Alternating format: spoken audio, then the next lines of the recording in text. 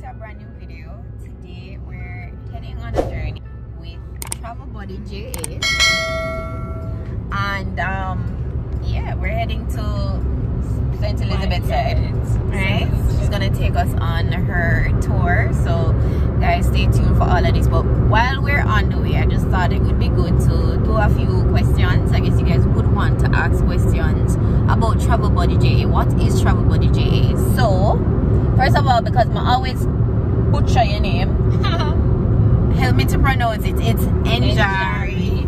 Njari. Alright.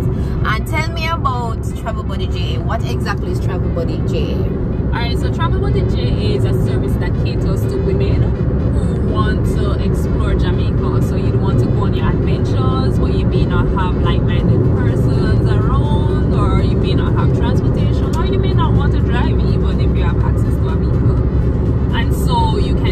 can hit me up and I take you on an adventure. It can be a private trip, it can be a trip with your girlfriends. It's I also have shared trips, so you can join a shared trip if you don't if you do not want it to be a private trip. And just vibe. Alright, so how long have you been doing your Travel Buddy JA business? Or how long is the business around for? Alright. I launched the business in July of last year, 2020. Um, I was always doing my own thing, always doing my adventures, solo adventures, and a lot of persons would ask me to carry them along and thing. And so when the pandemic hit and I um, needed to find a source of income, like many persons with job situation, I was like, maybe I should make this into a business, into a venture. And so, and that is how I came up with formalizing it as a business.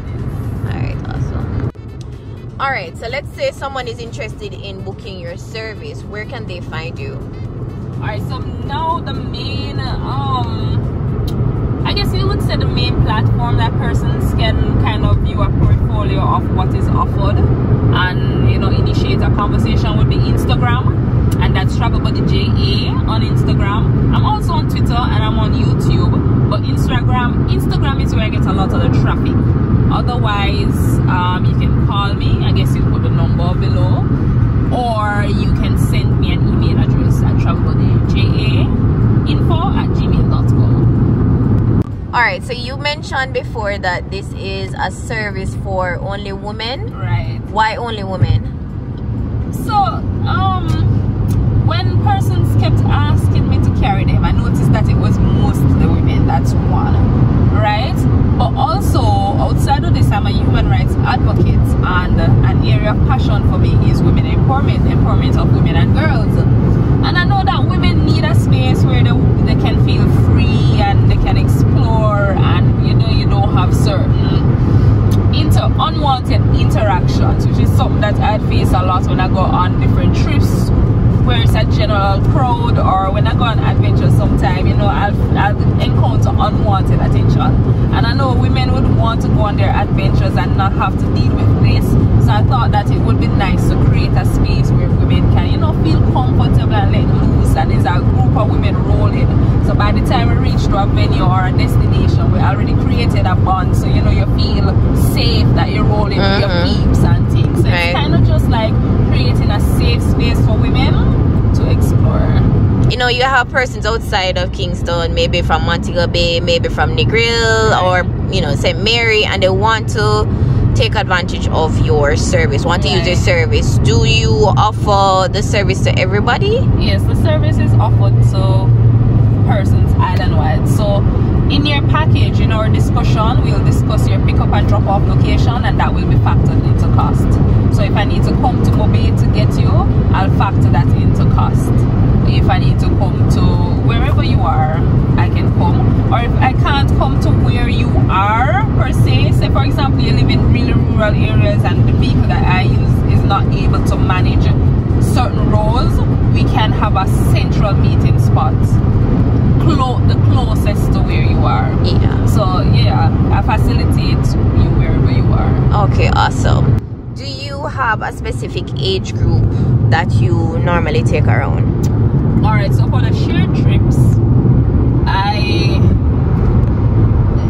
the activities that are usually done on the shared trips are ideal for persons 18 years and older. So for example, um, a trip to a day trip to Appleton Estates, you have to be 18 years or older. So, you know, indulge in the services of Appleton. So usually based on the places we're going, it's advisable 18 years and older.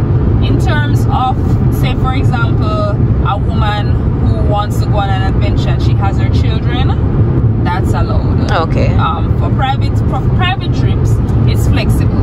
If it's, for example, say 14 year olds and they want to, it's a group of them, say three 14 year olds and they want to go on a trip, Mm-hmm. I would have to have discussion with their parents or, or, or guardian to ensure that it's a situation where they have permission to go to these places. Right. You understand?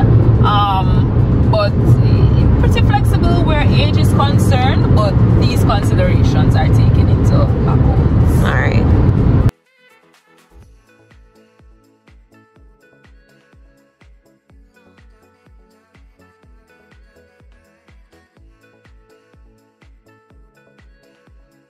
Let me know, let the people know what to expect if they were to book you, Miss Travel Buddy JA.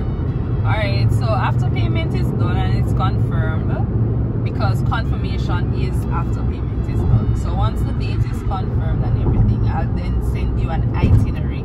So before we even go there, in our discussions, we're going to discuss the activities that you want to do, and then I'll I'll match the pace, the places, right? So you'll have an idea of what you'll be doing. But after everything is confirmed, I'll send you an itinerary and a list of things that you may need. So say for example we're going to a falls, I'll let you know that you know you need mosquito repellent, you need water shoes. So whatever the activity is, I'll give you a little guide for what to pack Mm-hmm. as well as an itinerary for you to know how the day Is breaks down. Yeah. So at this time we can expect to be doing this, or by this time we can expect we can expect to be at X place or back on our way to Y place or whatnot. All right. So I know you said that it's just women, but what if you know me and somebody's getting engaged or something, and I want to bring my little boo with me? Do you offer that as well? All right, so for the private adventures, you can you can incorporate your boo or your children, or if it's a small family get together gathering sort of thing, you can incorporate that. So I'm open to that for the private adventures. However, when I do the shared trips, women only, so you can't book a seat for you and your boo Mm-hmm. on the the open trips Okay. women only but in terms of the private adventure because it's a private customizable experience i understand that you may want to have the persons closest to you on these adventures and in these experiences so i'm open to incorporating your people All right. So, do persons like normally ask about security, being that it's you know all women? Yeah that's a question that comes up a lot actually. And um while when when we travel in groups so we're on the shared and open trips there is a feeling of safety because it's a group of women traveling and you know we create the bond from the pickup point the starting point. So by the time we reach the different venues by the time we reach the different venues. We have created a bond so that we're looking out for each others and it's a group of women traveling. So you have that layer of safety right? But in terms of like the private adventures or generally the places that i go to are usually established and and most of the places i already have a relationship with maybe a tour guide at the place or you know a service provider at the place. So there is that level of safety there right and then i mentioned the group of women traveling. But also if on the private adventures we are going to somewhere where neither myself or the person i'm carrying is familiar with the place and we're not so sure about what the security is we may have to um outsource additional security. So i may you know um employ the services of an off-duty police officer or soldier or security personnel to accompany us. And we'll discuss how that looks if the person will travel in the vehicle with us or the person will meet us at the place and just be there with us throughout the experience. Whatever it is it's a discussion as i say uh, the entire planning of the adventure plan is a discussion. So in that discussion we'll have that. But there is that option to add an added layer of security in the event that we need it. All right. So let me ask you the question what everybody will ask you which oh, is pricing because this uh, sound really nice sound really exclusive and customized. Uh, what's pricing like? Yeah pricing pricing is a hard thing. So there are different factors that have to be um, considered when pricing you know? So like distance traveled time of day pick up and drop off location how many persons if it is a half because because the vehicle that i have on base can manage four persons. But say for example it's a group of 10 persons then i would have to rent a larger vehicle. You understand? So i have that has to be factored in. Some so many different things have to be factored in. So it really all boils down to customization and but i do have starting budget rates that you know you, you can say all right with this budget i can probably get this or we can't invite 10 friends we can probably invite four because of this on my budget there or we can't do five things we only can do three because of this on my budget there you know that kind of thing okay awesome yeah my life. I want to live my life. What if I saw Alice?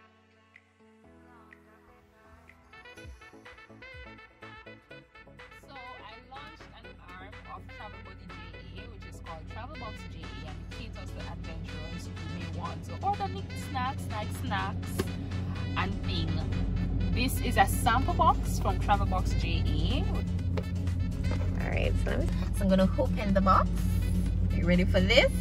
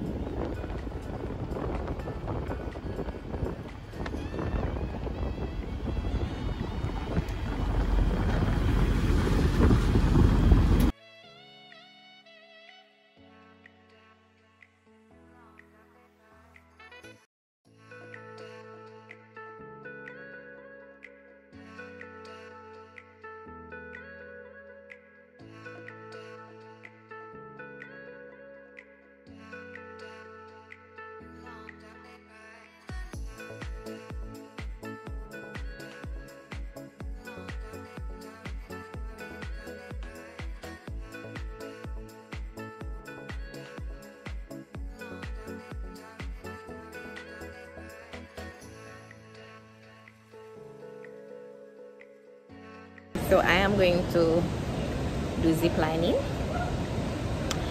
I'm not sure how it's gonna go yet but we're gonna do this I made sure to use the bathroom just in case any pee want to escape but I'm ready. I'm getting myself ready. And I don't know if I think watching the people doing it ahead of me is encouraging me in a sense because nobody's screaming. I'm hoping that I won't scream. But make we see. I'm literally like going to cross this off my list right now of things to do, my bucket list. And I'm excited but nervous at the same time. So let's see how it goes. You'll survive. So a pro tip if you are planning to visit the YS Falls in St. Elizabeth is to dress comfortably but you know appropriately um, because most of the things there especially with the zip lining it's it's activities right and so you don't want to be zip lining and you know exposing any body parts or anything like that so just comfortably you know wear the correct shoes so you know you can climb because to get up to the top is a whole trek. And um, you know it would just be easier to just be in the right gears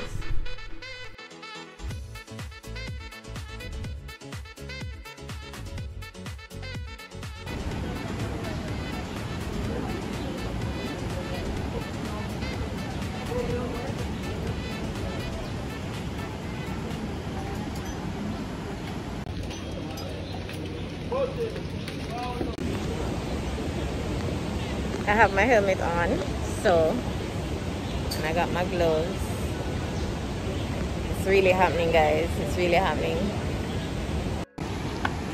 So how are you feeling, madam? Do you really want to know?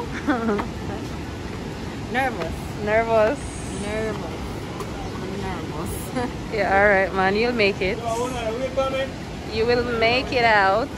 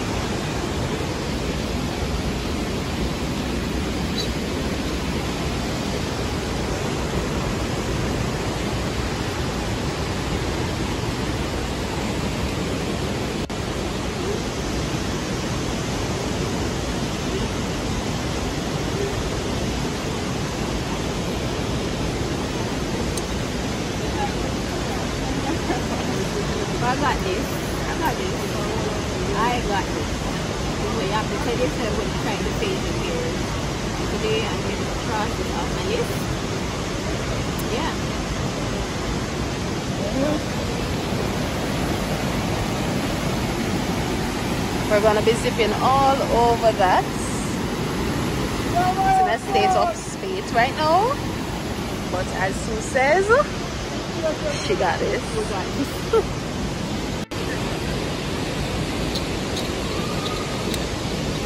Prepping yourself?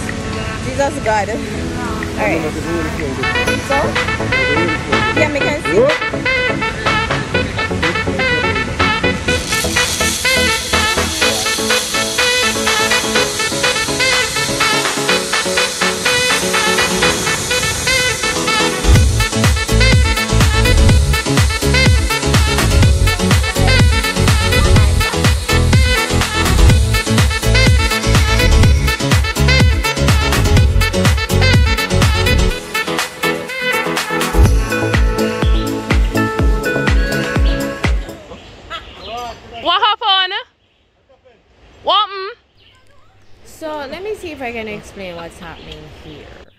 So they they knew that I was a little bit afraid of heights, just, just a little bit afraid of heights, and so they decided to pull a prank on me, you know, to, to like stop me mid-air and So make me feel like there was some technical difficulties. But by the time they decided to pull this prank, I was already over the fear. So the joke's on them.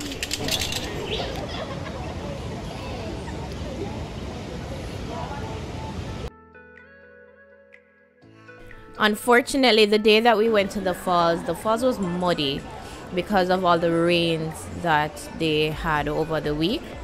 So we weren't able to enjoy the falls, but there was a pool there. In fact, they have two pools on property.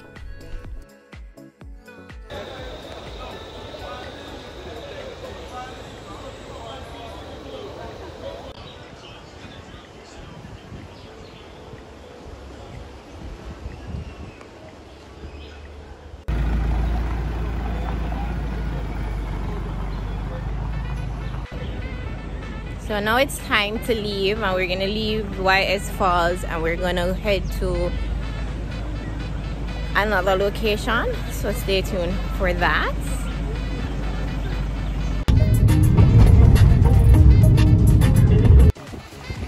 That's the road that we're going to go in, and over there is where we're heading.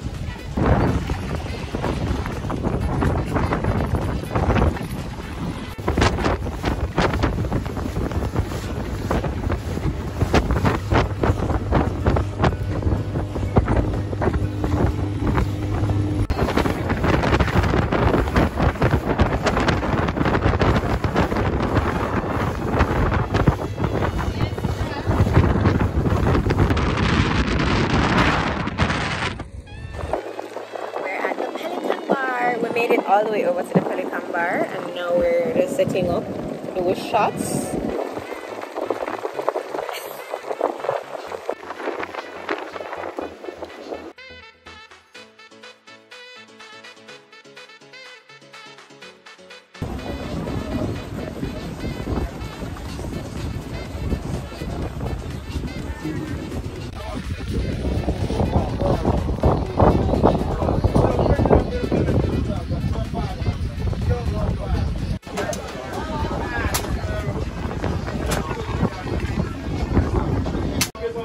Yeah.